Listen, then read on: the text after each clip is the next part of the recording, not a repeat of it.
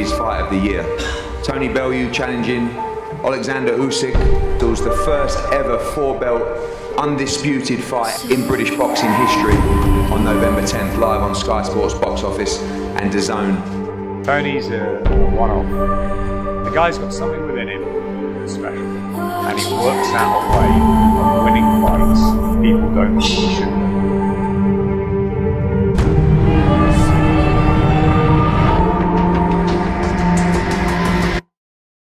I tried so hard and got so far, but in the end, it doesn't even matter.